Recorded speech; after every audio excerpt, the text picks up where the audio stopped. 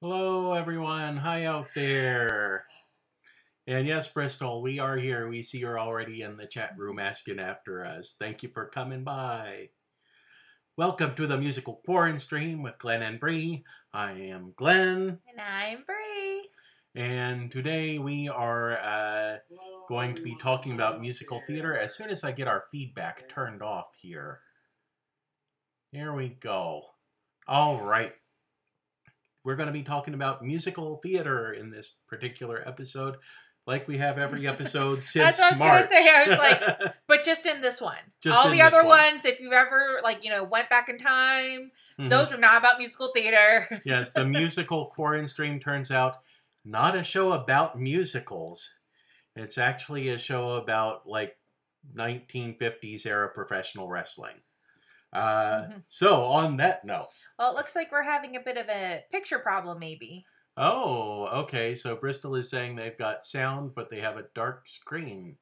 Uh, well, we are we're seeing our feed on our television monitor here, which is hooked into the internet. Well, we also know we've been having kind of these unprecedented thunderstorms. Um, right around Mhm. six thirty, we had a flash flood warning, so it could be our connection. It could be um, the weather. Um, we're not necessarily sure what's going on. Um, Hmm. we we suggest maybe logging off and logging back on again from your side, and uh, if that doesn't fix it, then we might have to try that ourselves. Yes.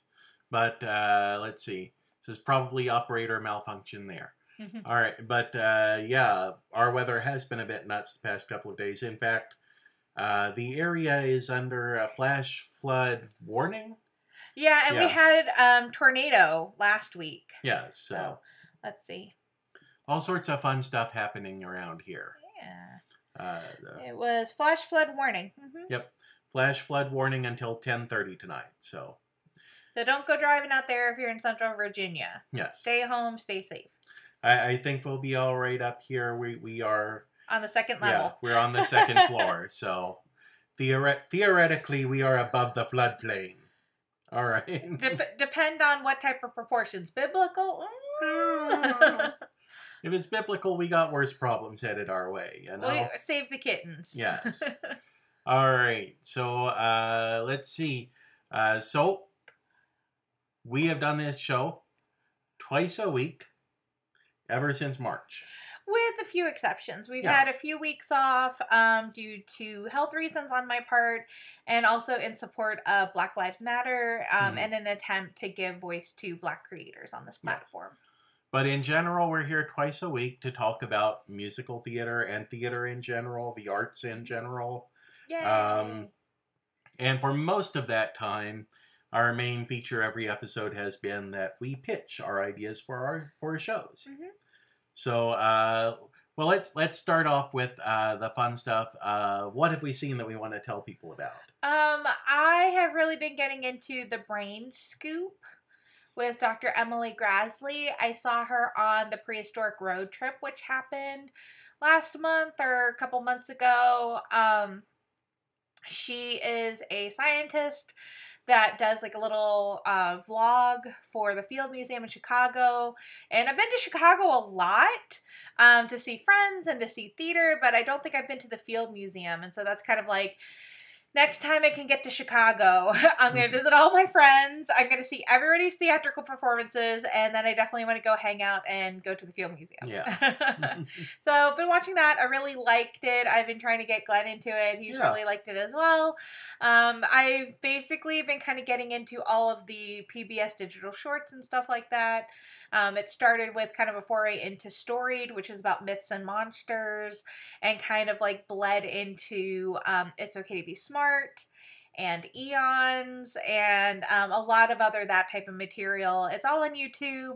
Um, I really enjoy that quite a bit. Mm. Um, I also saw this was like my big revelation. So, um, one of my favorite uh, shows that happened within the past few years has been Be More Chill, and um, I started seeing a bunch of like performances pop up on YouTube, and I was like, wait, the, are people just like we all went and we saw it 16 times and now we're going to do it at our high school and like that's really weird but um apparently the rights came out.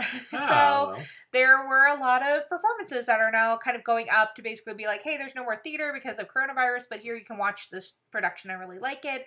Um also i think that um from what i saw as a quick tweet today or when i looked at over lunch was uh Joe Iconis is trying to figure out how to get a cast recording of Love in Hate Nation Oh, which yeah. I really, really like that show as well. Um, my two favorite songs. I mean, you can't find many of the songs on YouTube because it's only had one production at Two River Theater in New Jersey, but um, they have recordings of Oh Well.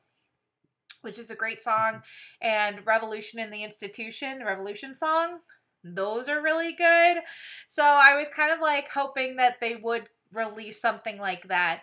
Um, I think kind of another one that I want to be promoting as well, kind of in this recent Joe Iconis trifecta, is uh, Broadway Bounty Hunter, starring uh, Broadway veteran Annie Golden. And I that's like I think eleven dollars on like Apple iTunes if you're looking for something. It's basically taking those um, exploitation films of the '70s and turning it into a you know, aging Broadway star, um, needs to find another career, so of course she now becomes a bounty hunter. oh, there you go.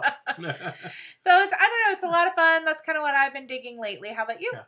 Uh, well, for me, I've been watching a lot more movies, trying to like gather some material for uh, the film Optimist, which is I'm gearing up to produce more episodes of that.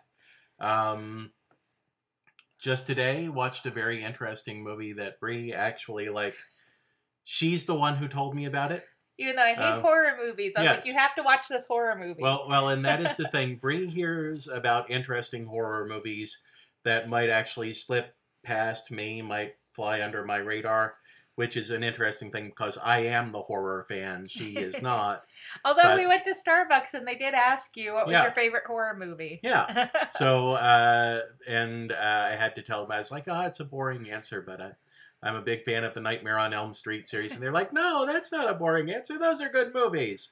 So they thumbs up to the Starbucks fault. Yeah, we. I mean, I'll be honest. This was the Starbucks I tried to work at for a while, so we're already slightly biased. Um, Yeah. We think they're great. Um, it has been the one place that I feel really safe going to as far as like a drive-through Mhm. during the pandemic. Um, the other thing I can, and I'll let you get back to your horror movie rant.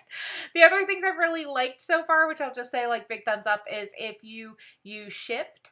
Mhm. Um, this isn't an ad. I'm not getting paid by Shipt, but I've used them three times. I like them a lot. Mhm. Um, so I, I don't know. I just think it's really hard nowadays to go out and go shopping. It increases my stress. It increases my blood pressure. So I think I've kind of caved, and we've done a lot of Wegmans delivery or Wegmans pickup. We've done Shipt, and then of course being able to go to Starbucks and have a little, you know, treat on the days I have to be at the hospital at seven. Yeah. So, So- but back to Glen's horror movie. So yeah, Bri told me you actually told me this morning uh, about there's uh, a movie. It's uh, exclusive on Shudder, uh, Shudder.tv, S H U D D E R. You know, like Shudder, um, which is a horror-based streaming service that I just happen to have a subscription to because I subscribed to them. I bought a year-long subscription like nine months ago, I think, because they are also the home of Joe Bob Briggs in the Last Drive-In. Um, but they've just put up a movie called Host, which is a very interesting piece. It's the second movie that I've heard of uh, to come out since the pandemic started that is filmed entirely using teleconferencing software. So all of the actors are basically in their own home or wherever they were quarantining at the time of shooting. Uh, it's all filmed through like webcams and phone cameras and things like that. And in this case, I believe uh, Bri knows more about the actual story behind the movie than I do, but I believe it was genuinely all filmed as a Zoom call. So it's not edited together to look like a Zoom call. it is a Zoom call that they filmed and edited.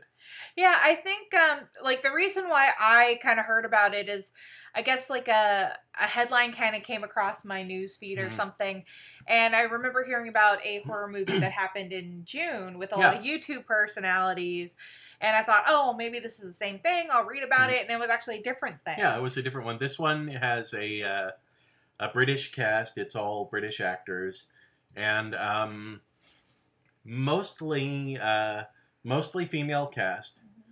And it's uh, basically a group of friends who decide that hey, you know, for their like Zoom get together night sort of thing, they're going to hire a psychic to lead them through a séance Mhm.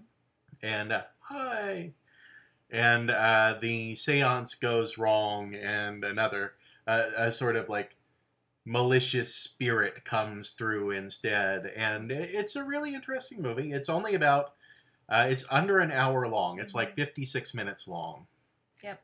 and um, but I thought it sounded interesting, and I said, Yeah. like, what do you have to lose? It's 56 minutes. If you Yeah. hate it, so what? It was, it was and, and it's much still it, it's a form th- this sort of form is something that they're not the first to experiment with it like we said there was the one that came out uh, earlier with zach kornfeld from the try guys in it um, there's also the unfriended series Mhm. which is two movies at this point uh, that's a similar idea where you're watching someone's computer screen while they're using skype and everything to talk to Mhm. people What was the movie um, with John Cho?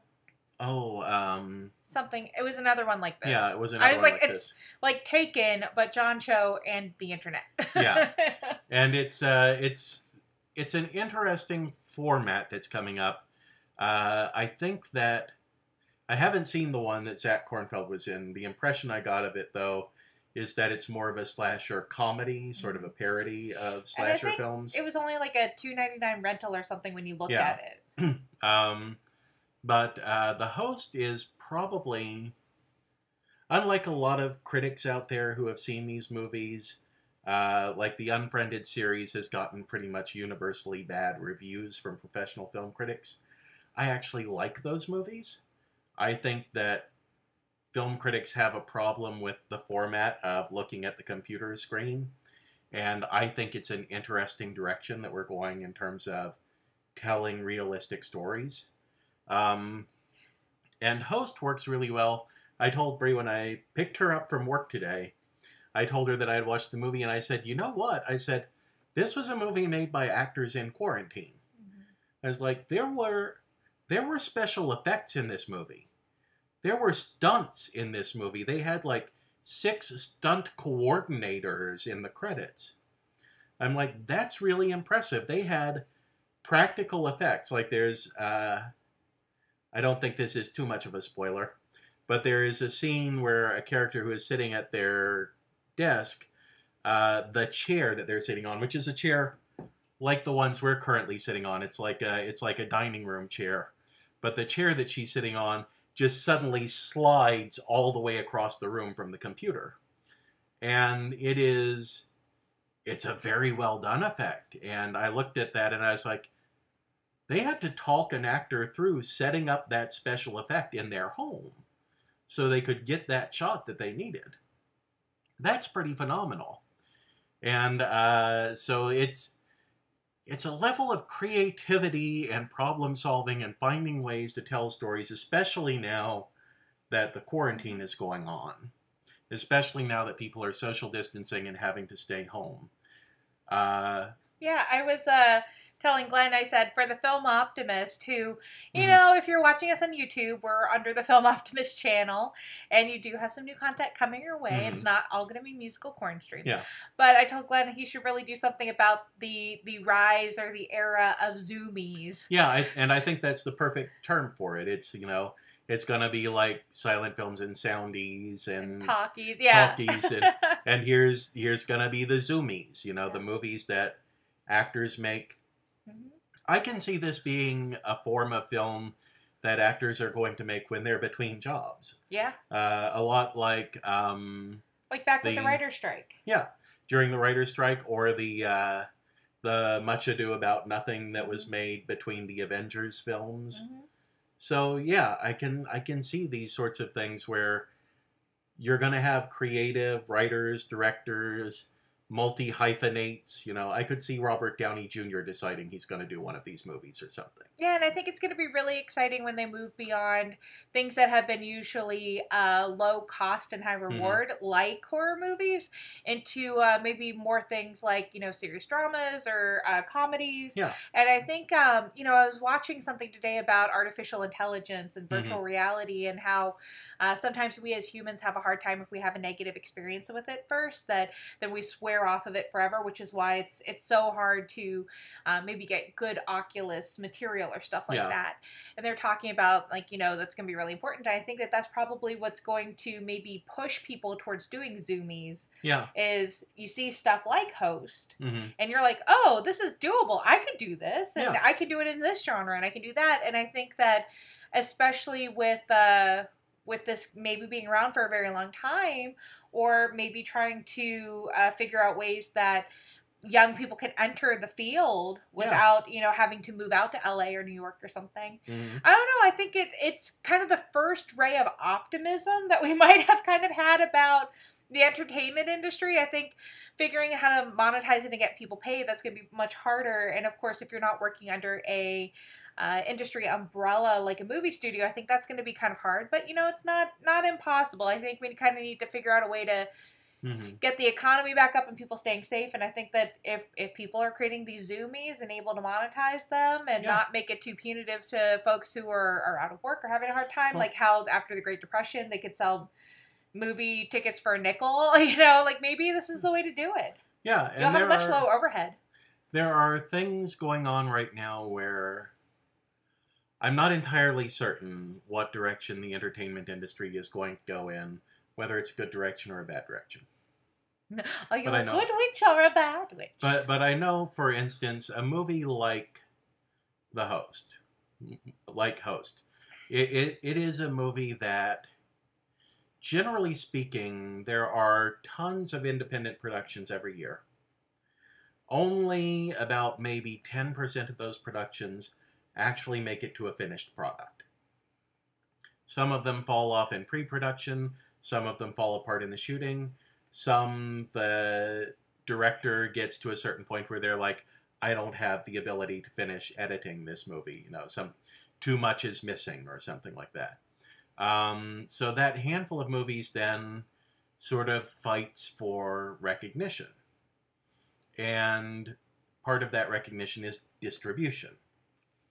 It's very difficult to get distribution, but if you get, generally speaking, if you have a completed independent film,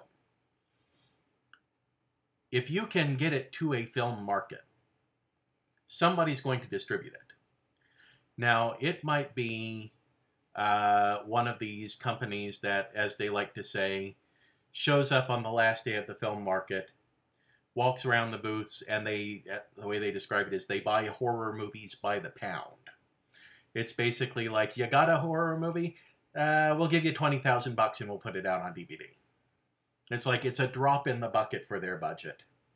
And the person who sells their movie is probably never going to see another dime from it. Um, but now you will have Amazon has opened up their Prime streaming service so that you can sign up if you have an Amazon account and just upload video to Amazon and it will become part of the Amazon Prime streaming service. Mhm.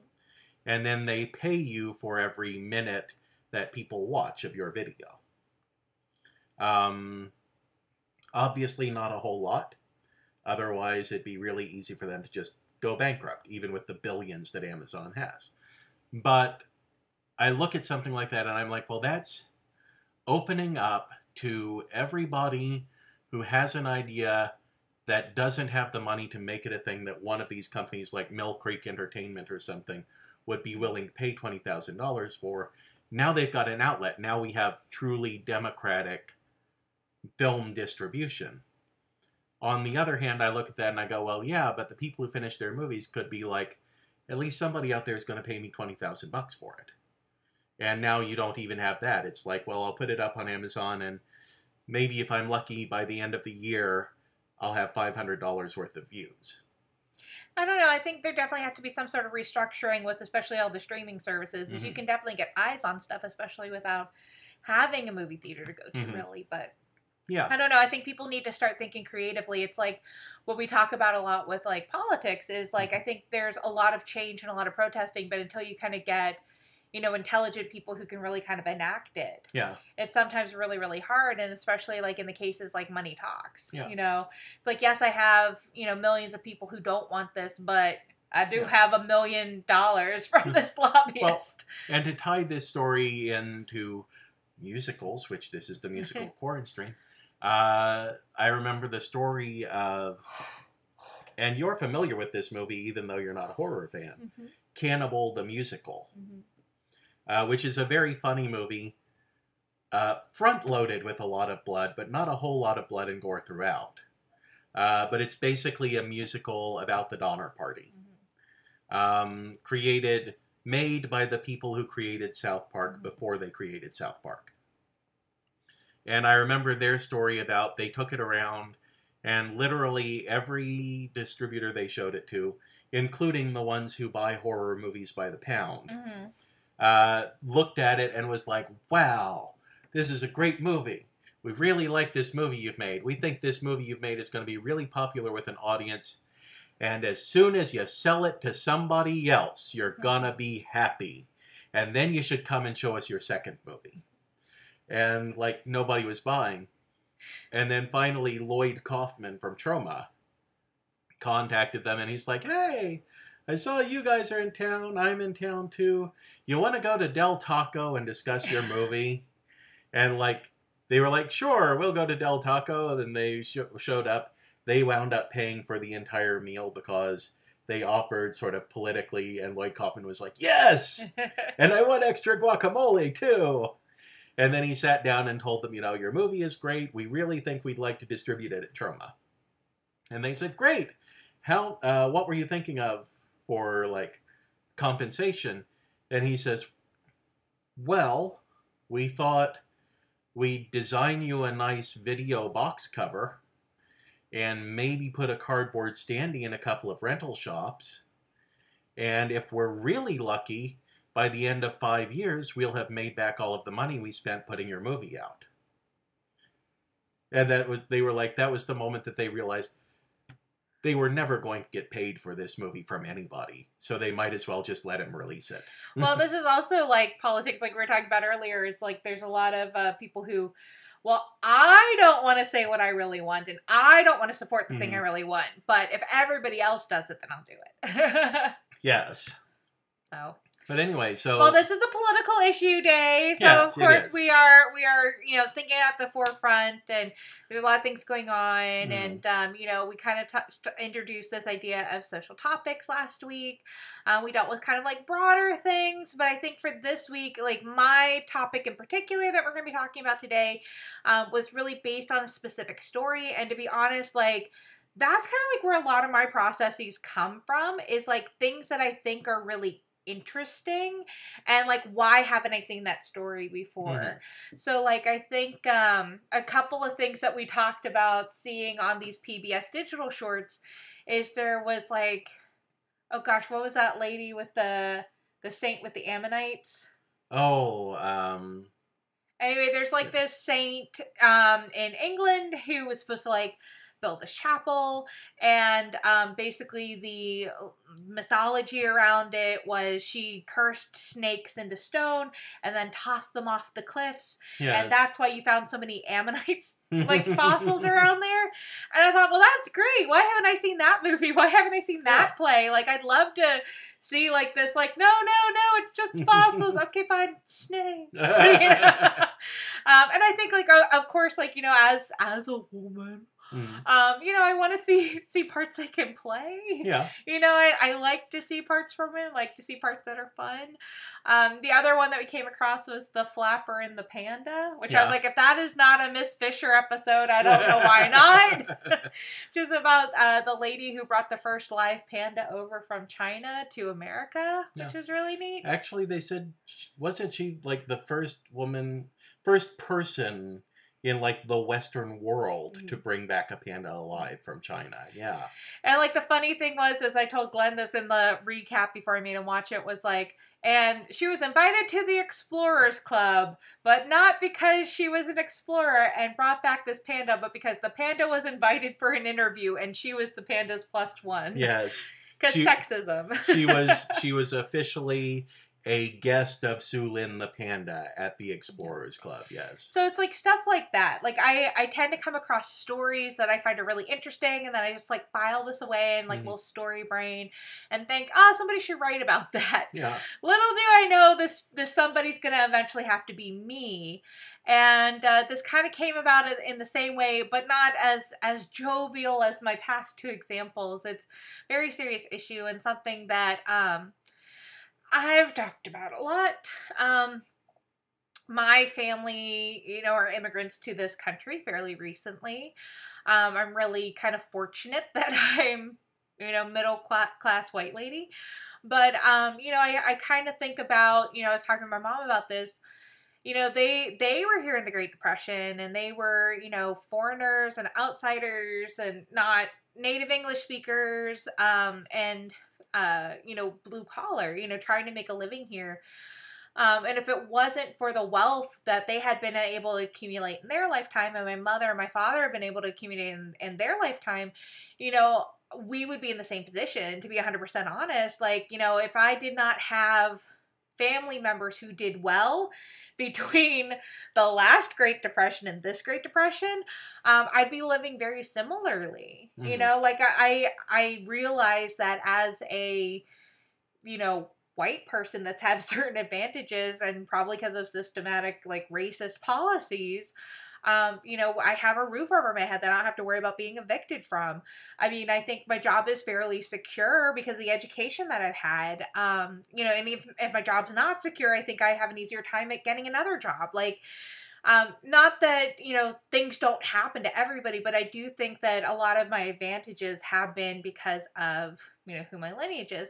But I think that that's also why, like, I don't know who fought for my grandparents um, as immigrants, but I feel like they well first of all i'd not be speaking english. Um you know my Mhm. my mom's side is kind of from czechoslovakia which is like no longer in existence and like yugoslavia which is no longer in existence. So we we might not even i might not even be here. Like we might be dead because of war um so i i think that as as somebody who realizes how privileged they are with that i i really have a big stake in the immigrant issue um i i don't think I don't think it's right for my my grandparents to flee war and to flee persecution and come here and be afforded so many opportunities and then that door be shut to anybody else. I think that that was a big you know story of America that I was told and I really want to believe that it's true and I think that you know I I have I I have through my background that I believe that humans have the power to create heaven or hell on earth for each other. And I think that because we are smart and because we care about each other, we should always strive to create that heaven on earth, right? So, I mean, I think for me, the immigration issue is is very, very personal, and uh, I I always feel really, you know, lucky that you know I I well, first of all, got to be like you know second generation American because I could get B's and not A's, but but also because like I I get to have like a different perspective on what it means to be an American because I know that there are some people's families that have been here for 400 years. Like Mhm. my best friend uh, Kelly, her family's been here since the signing of the Declaration of Independence, and that's a different experience than you know people who immigrated here at the turn of the last century. Um, it's both makes us Americans though Mhm. you know and i think that that's what's really kind of like nice and special and i think that we should afford that to all immigrants because i think that some of the best ideas that we've gotten in this country and advanced as a society and a nation and have had some of our greatest discoveries and smartest insights have been because of the creativity that diversity and immigrants have brought to us Mhm. and like we're really lucky we're really lucky that we have so many immigrants that want to be here Yeah. you know it's like it's the best gross national product you know Mhm. that we have so I uh, I also grew up in Texas, so Mhm. I I tried to find the original article. I didn't save it, but like I I don't. Okay, writers, this is not a great strategy. If you have a better strategy, please tweet at me Mhm. um, or make a message in the comments. But this is my strategy, and you'll see why it's not great. On the one hand, I don't mind it because it means that I can kind of like be a little more creative and I can work from a place of emotion, which I think is sometimes really good at art. On the other hand, it's not a really good look for a debate. a really good look of like my facts and figures and my science side of the brain. So I'll normally write down like, here is this key phrase that I can use as a touchstone and come back to this material. Yeah. And uh, the one thing that stuck out to me was 6,000 children. So when I type back in crisis at the U.S. Mexican border and 6,000 children, I found this uh, article from The Independent um, that was published in June of 2018, which I think sounds about right. Um, essentially saying because of the concentration camps at the border and the separation of the children and the parents, um, there have been, and this was just for the past two years, 6,000 children lost at the US Mexican border. Some people, uh, well, they were saying they ran away, um, they were human trafficked, um, they were surreptitiously adopted. You know, it's just really staggering. You know, Mhm. I, I think it was kind of the first big number we heard out of this administration that just seemed like mind boggling. Like now we're now we're at almost like 170,000 deaths, Yeah. which is far surpassing this, but it is all huge human rights travesties. And, you know, I, I just keep thinking if I was in any other country and I heard that this was going on, I would be terrified. I would not want to come to the United States. They're losing people's kids hmm they're killing their own people and like i just i never and this is probably my my privilege here but i never thought that that would happen i always Yeah. thought to some extent it was always you know us versus the world and an american life lost is an american life lost. No american life should be lost. And um, i feel like it always seems a bit weird at whose lives do people choose to say matter? Because i i feel like you know i you know, full disclosure, if you watch the show, I I definitely believe in a woman's right to choose and having your own bodily autonomy. But like I also believe like children shouldn't be dying or going missing. Um, you know, people should not be turned back when they're seeking asylum. We should not say like it is okay for children and elderly people to die just so that people who have money should keep their money. And um, this this story that I was hoping to kind of adapt to the stage um, was with that striking number, that 6,000 children. Um, I think too often in musical theater, when we think of kids on stage, um, what does that conjure for you, Glen Williams? When I think of kids on stage, I think of Annie. I think of Matilda. I think of basically adorable little mop top Yeah. singing, you know, bright songs about life as a Yeah. kid. But you think it's like positive? People are like, yeah, go go see kids on stage. Yeah, yeah. I mean, because I, I mean, I, I think I've had a unique experience. I've been a kid on Mhm. stage. I've taught kids on stage. Um, I, I think unless your parents or friends or something, like not too many people are super Mhm. excited about seeing kids on stage. Oh, they're whiny. Oh, they're hard to work with. Blah, blah, blah. But I think most of the time when I've taught kids, um, I, I think kids have so much more intelligence and um, thought about the world than we give them credit for, especially theater kids who feel a lot. Mhm.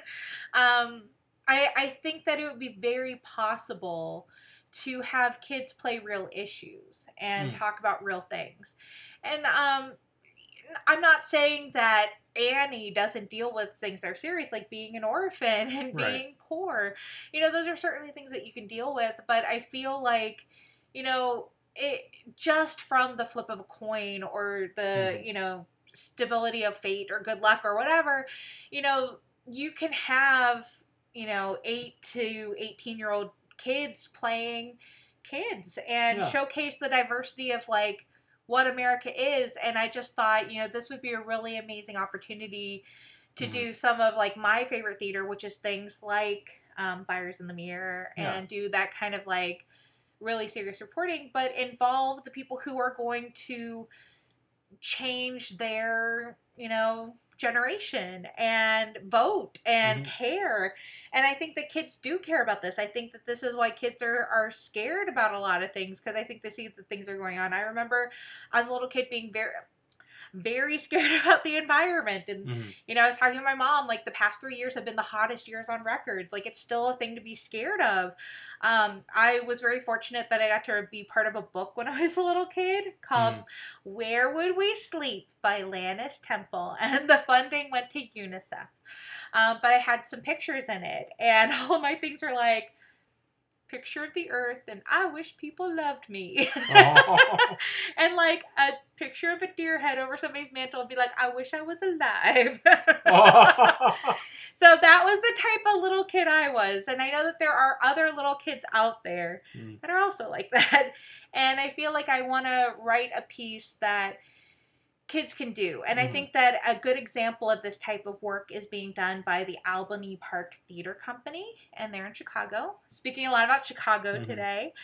Um, and they do that type of stuff. They go into kids and they say, What do you think is really important? And uh, they do topics that are fairly serious and that kids want to talk about and kids want to create theater about. And I think that that's the best way to kind of work into serious pieces of theater. I also think that there's a lot of beautiful songs that can kind of come out of it. So it's just something that I was really thinking about very seriously as something that could be made for kids by kids in a very serious way that could get a lot of serious attention. It wouldn't just be a Mm. Um, vanity project for somebody's stage mom. You know, it wouldn't just be how cute does somebody look as Matilda or Annie. It would definitely be something that I think kids can deal with. And I think that by making it, you know, with kids, um, we real we can't have a lot of empathy until we see physical kids in front of us sometimes, um, and until we can kind of relate like those kids are our kids, hmm. which is horrible. But you know, it's like I think you just hear these big numbers. You hear six thousand, you hear one hundred and seventy thousand. That just seems so insurmountable, and that just Right. seems like almost unreal. And in fact, like you know, I've heard from some of my family members, like I think I just invented the whole coronavirus because I don't know anybody that's sick. Well, we're also all like privileged. Yeah. we also have been staying inside. We've also not had to go into work if we didn't really have to. Mhm. And I think that um, putting a face with a name, or of course having a song, I think all these things are are going to be really great. And um, you know, they don't all have to be Castle on a Cloud. No. Well, and you know, I, I think it's I think it's great. Like you like you mentioned, Annie deals with very uh, serious topics, although largely Annie deals with them in a very cheerful, hummable way. Uh, but you there have been shows like uh, I think Fun Home hmm gave an opportunity to young actresses to play some very serious uh, issues. Um, although that, I look at a show like that and I say that's one to three children in the show at a given time, uh, playing playing those serious situations, and the idea of I, I like the idea of a collaborative piece made with children hmm about an issue this serious. hmm And I also like the idea of like maybe you don't ever get, you know, eight to fourteen year olds doing it. Mhm. Um, maybe it's just fourteen to eighteen year olds doing it. But how often, from between Mm. you and I, have we done a musical in high school and we're like, well, you're playing somebody who's forty five. But just understand it, okay? Or Yes. you're playing a grandmother, Mm, but just do it. I know you're 16, but pretend you're 88. yes. And I kind of like the idea of, you know, uh, an 18 year old is still closer to a 10 year old than an 88 year old. So, you know, even if you're having older kids in high school or college doing a production like this, because it is too hard on younger kids' classroom time or, you know, family time or whatever else. Although I think you could probably do it if it Yeah. was like, you know, worth the right investment because, of course, they made Matilda happen with a lot of kids. But, um, even if you did it with older kids. Yeah. I still think that that is something that, especially high schoolers who are looking at going into college, becoming an adult for the first time, voting for the first time, all that stuff, Mhm. would still want to talk about and still want to do. And I could certainly see like a 14 year old playing a 10 year old, you know? Yeah. I um I could see that. I could see this as a show that professional productions you want to go for a child cast. Um in that range of say 10 to 14 years old. And then in terms of spreading it out into community theaters and high schools and colleges being like our focus on this show is younger actors you know so this is a show that we market to uh, and i say market because that's that's genuinely what it's going to be even though it's a social issue uh, social topic play. Uh, you do market it when the script gets out to other people to produce. But marketing it to does your community theater have a lot of children? Mhm. here's a show that's a serious topic that children can do.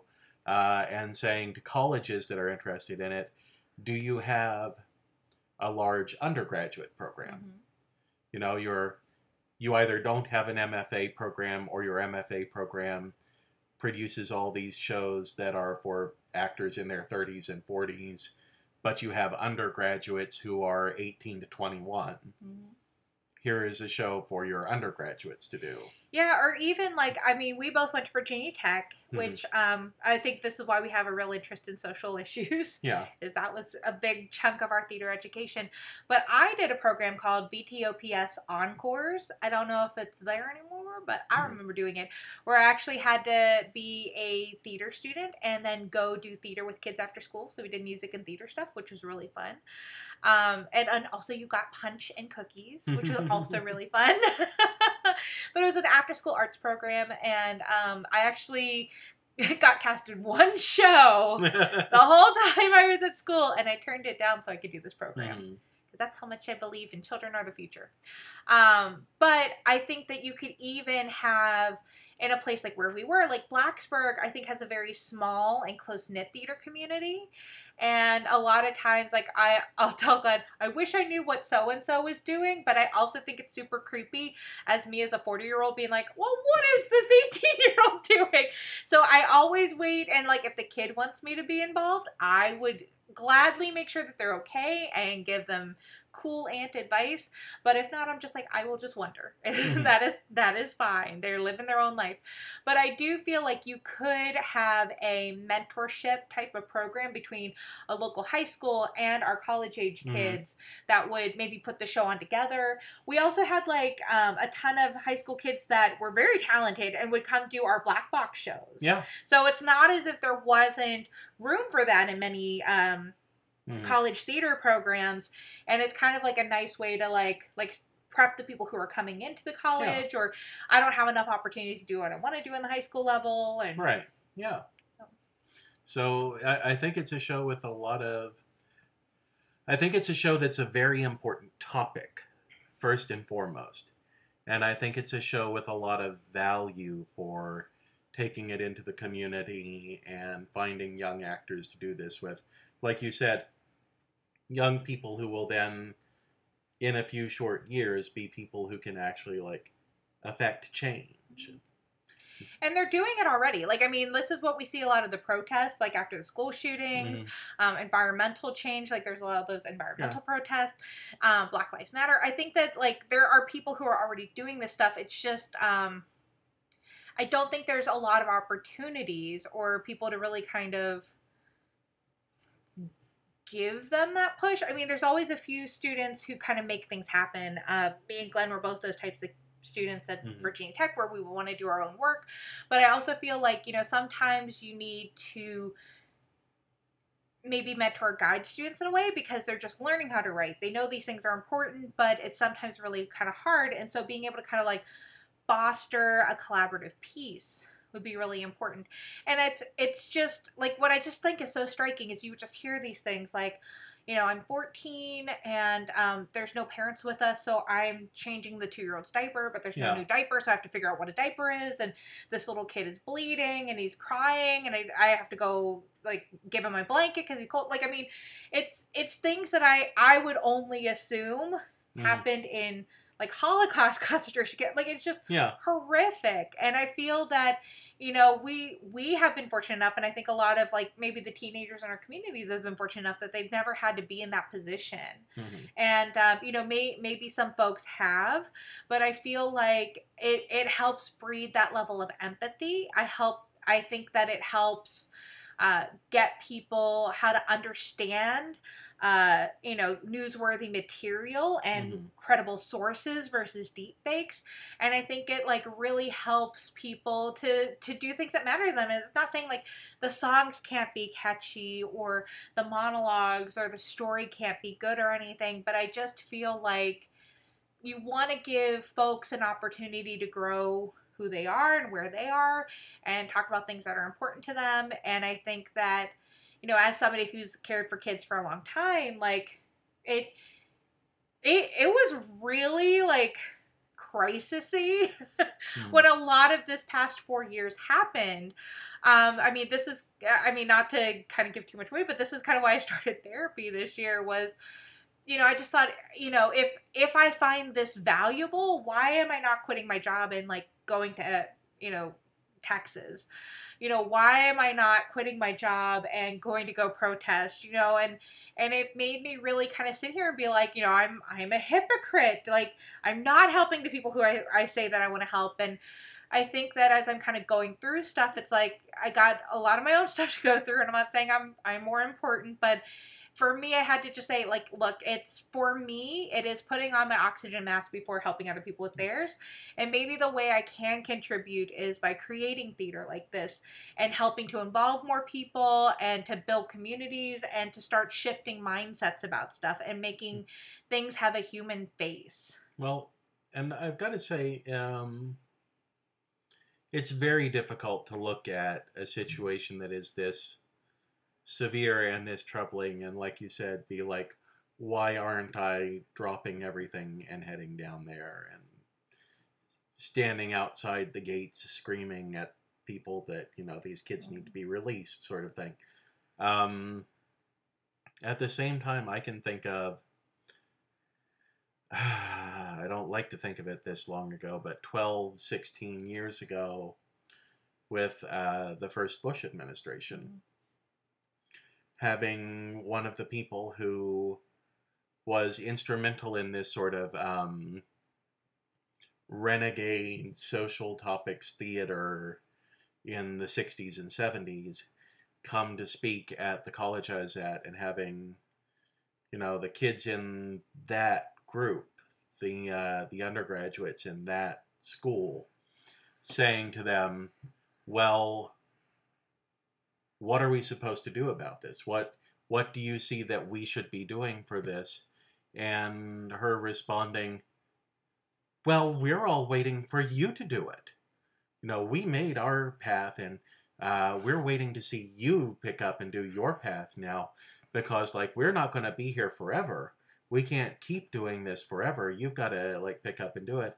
And i was like well yeah but you know like we discussed in our last show um, the opportunities to do what people did when they were protesting in the 60s and 70s have shrunk in the modern age Well- so much has been put in place that is designed to keep you trapped where you are Well, I think that um now now if you're out there, Glen's mother said something very smart about this.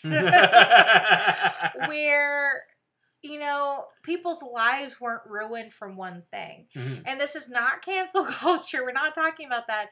But there does seem to be this attitude of Mhm. like we just saw it happen with the Georgia student who took a picture and said my halls are crowded. Yeah. Like this is not not good. Yeah. And then when they said, "Oh, never mind, we reverse the suspension and we're really hoping that this doesn't affect you negatively." yeah You know, it's, like, well i'm not the one who put all these kids in the hall right. It's it's very much I think adults in institutions of power, whether that's Mhm. educational or whether that's um, in jobs and this is like completely yeah. different than like legitimate things of hate and mm-hmm. racism. Mm-hmm. This is kids who want to stick up up and out yeah. for themselves and people like to say that there's these false equivalencies of like well you're a truant because you went to go speak out about the environment and people stop shooting you and i think a lot of kids are really scared because especially yeah. smart kids see this is my way to make money and have a job and if i just put my head down and i just move forward i can just go mm-hmm. ahead and then pull my my family up in the world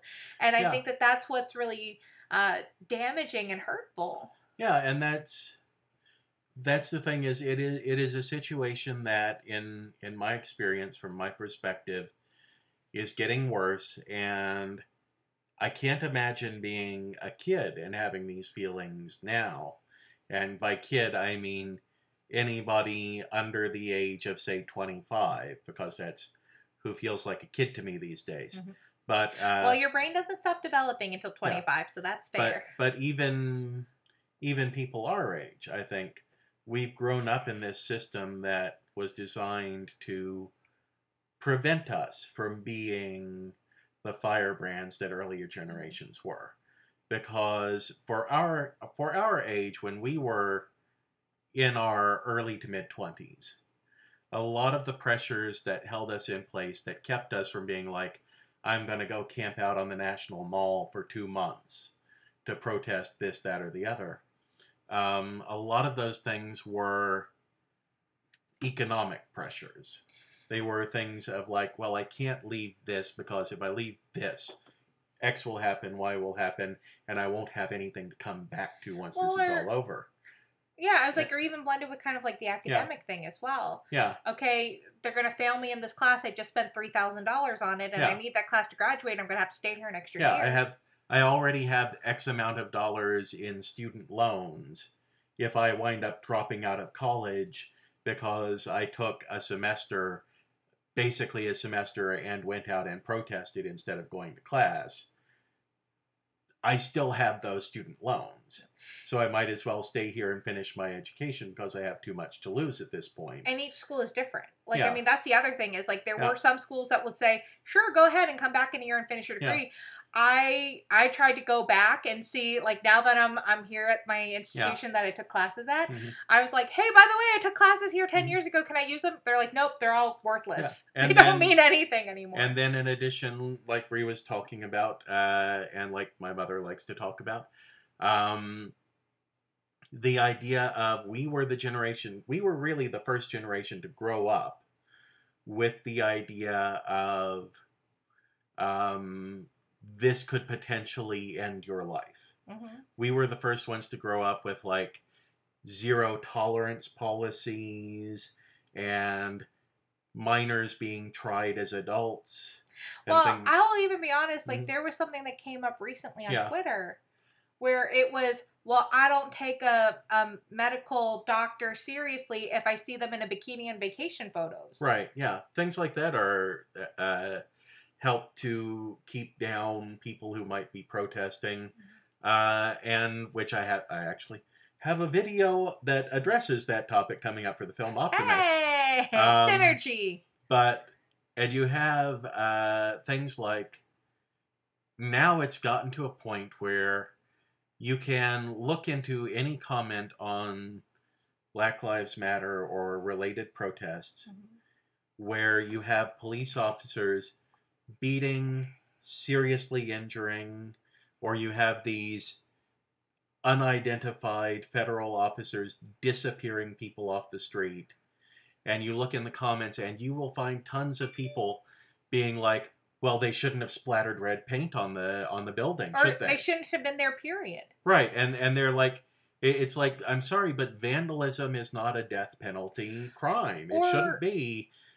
You you spray painted a word on a wall, or you were out after curfew, so that gives us every right to use potentially lethal force against you. Yeah, or I mean, like, um, it's it was the saying when you have a hammer, everything looks like a nail. Yeah, like I mean, I'm not saying that we need to divide these populations, but there's people who are like, I was trying to get home. Yeah. And I was arrested because they're like, well, you're out on the street. Yeah, and and it is, you know, it it's that culture of zero tolerance policies that we grew up under is being taken now to a logical extreme of any infraction gives any enforcement who sees you full cause to treat you as though you are a violent felon. Well, you've been applying for a Mhm. lot of jobs, and Yeah. how many job applications are on there that say, "Have you ever been to jail?" They don't even Yeah. care what it is. Like, I mean, even if Well- it's like I forgot to pay my traffic ticket and I, you know, paid it, but I did have to spend some time in jail. Like, Mhm. there are a lot of people who get so many job applications that just by saying yes and being honest, they're like immediately in the trash. Yeah. Well, and uh, in Illinois, uh, there's a story just this past week of the, you know, when I mentioned the splattering red paint, this was probably the thing that was in my mind. Uh, the protesters who were at a protest where several thousand dollars in property damage was done, and red paint was splattered all over the front of a public building. And the people, a lot of people were arrested who allegedly were involved in that incident, allegedly were involved in the property damage. Um, again, no no real knowledge on my part as to whether they were actually there or if any of them were innocent and picked up or anything like that. But Illinois, the state of Illinois has now announced that they will be charging them with felony mischief, which takes their offense, which should just be like damage to public property, it takes that offense and turns it into a felony charge that carries a potential life sentence. And it's like so you're you're picking these people up because of paint on a building and saying you're going to spend the rest of your life in prison. That makes no sense to me. But anyway, this Yes. is why I think kids should create this Yes. piece with me, and I think get them started in social justice musical theater while they're young, Yes. because there's a wonderful story tradition with Oscars and Oscar Mm-hmm. and Hammerstein and uh, Richard Rodgers, and um, I just think that that's Well- that's what I really believe musical theater is for. Yeah. I think that you know we have not had a great protest song musical. I think it's time to get it started. I think it's time to start with Children Are Our Future. Yeah, and the chil- the children, like you say, the children are the fe- future, and I think from our perspective as older people, it would be a good idea to start talking to children about this kind of work Mm-hmm. and being like, you have to realize that this world that you're in right now, we didn't grow up in this. Mm-hmm. We grew up. We grew up. This was just starting to form. You've only experienced this world. It doesn't have to be like this. Well, and I think, um, you know, I, I saw a very sad social media post from um, somebody on Facebook that I follow, and I used to work with them. But um, they they were walking with their family along a trail, and somebody wrote some some words Mhm. in a in a post that was essentially, you know, um, defund the police, Black Lives Matter, blah blah blah.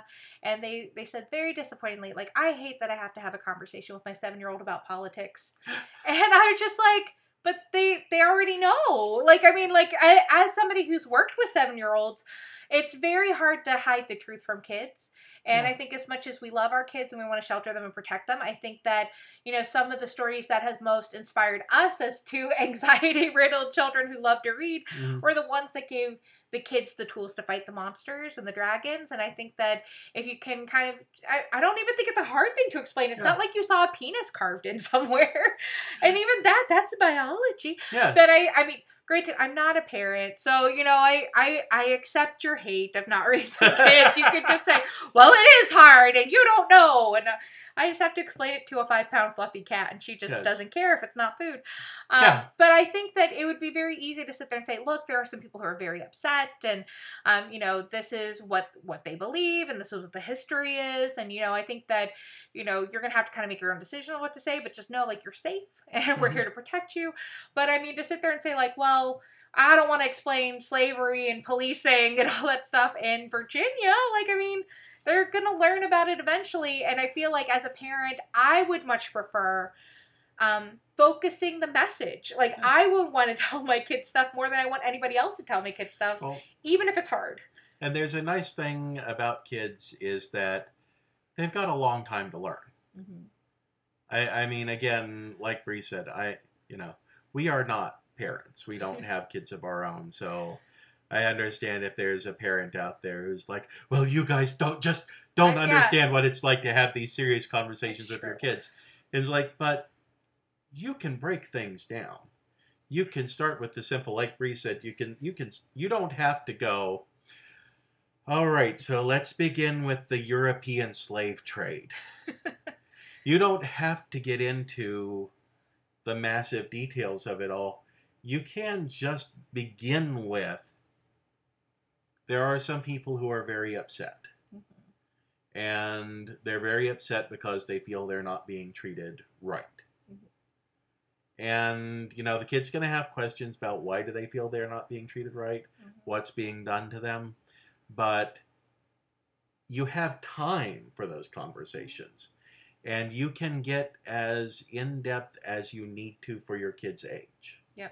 And now, eventually, you may want to get to okay, so we're going all the way back to the Three Fifths Compromise and the fact that this country, for a long time, didn't recognize that black people were people legally. Uh, but you've got time to get to that level of the topic. Yeah. And you've got time to figure out how you're going to talk about it. Yeah, I I just feel it's like I feel like you need to know your kid. I Mhm. feel like you need to know what they can handle. You need to know what can make them feel safe, but I also feel like it's it's it is unfair to say, well, that doesn't mean anything, or we're not going to talk about that today, or some stupid people vandalize stuff, or whatever. Like, that's not really helpful because I feel like this is when, you know, the kid is 10, 11, 12 years older Mm-hmm. that they're kind of getting to the point of like, well, my parents said it didn't matter because, like, like the great Stephen Sondheim says and Into the Woods, children will listen. Children will listen. and got to be carefully taught from Rodgers and Hammerstein. So I'm just saying, I think things matter, and I think that if you do have curious kids Mhm. and you want them to develop empathy for the experiences of other people and to feel like they have control or over creating safety in the world, not only for Mhm. themselves but for their friends. Yay, Mhm. theater. Well, and here is why I had such a big reaction when Bri mentioned "and you've got to be carefully taught," is because my introduction to both of those songs is Mandy Patinkin recorded a medley of those two songs. You've got to be carefully taught, leading into "Children Will Listen" as part of his album Oscar and Steven. Listen to Uncle Mandy, kids. Yes. I- I- Find the six fingered man. yes. Find the six fingered man. Well, we love you all. Thank you so much. and have a plan for after vengeance. this was a very serious topic. Yes. Um, we'd love to hear your ideas. If Mhm. you do work in kids theater, you think that this would be great. We'd love to work with you. Like Yeah. this is my wheelhouse, man. I was like, Mhm. I think you know, I don't like to talk about many of my my projects on here because I feel like there's that serotonin rush where Yeah. it's like I did it. I told everybody, and it's just as good as doing it. Like my brain gets that nice, nice brain candy. Mhm. But I really feel like this is something that's going to be really important, and I think that sometimes it's really hard for me to deal with stuff like as they're happening. I wish it could be a bit faster on that. I would have like a job with Law and Order right away, but I I think thinking about it, and I think that there's a lot of topics and issues that I like to ruminate on and to bounce it off friends and family. So I think this is something that might come up later in my work, and if you want to develop it now, like. Hey, I'm available. Yeah. I'd love to do it with you. I think it's important, and um, I'd love to see something come of it. So, All right. Well, thank you for tuning in. That I think that was a phenomenal uh, pitch, a phenomenal idea. I'd like to see it done. I'd like to see her doing it. Anybody out there with money or a theater or both who wants to like hire this woman, there are people out here who want to see her doing stuff. So, well, I'm going to leave you guys with one more thought. mm, because if you're not already frustrated enough with this idea, I asked Glen this the other day because I've been listening to the um, it's Wired and it's like the five levels of teaching people stuff, and one was um, do you believe if somebody could take your brain and put it into a computer, is that really you? Why aren't why not tweet at me? That's another topic I'd love to do. I'm really interested. I love neuroscience. Let me know. Why is your brain a computer, you or not you? mm. I know his It's- answer. yeah, she heard my like hour long lecture on this that started with, "Well, this is one of the classic themes of science fiction." I also have like very interesting thoughts about antigens and blood, and Yeah. if you could cure COVID with your blood right now, what might happen legally? yeah, If you say yes or if you say no. I'm thinking of dystopian movies around the world, children. this is the level of pandemic we're at. But we love you. We miss you. Thanks for joining in on Mhm. this Wednesday evening. We hope that you get your hot cocoa or your warm milk and Mm-hmm. snuggle in and get cuddly and uh, have sweet dreams of social justice. Yes, if you're if you're in Central Virginia, stay home. Don't move unless somebody tells you to evacuate because of the weather situation. And just in general, because of the situation, uh, stay home, keep social distance, wear your mask if you've got to go out. Take care of yourself, all right? Because we love you and we're not there to take care of you. Bye, guys.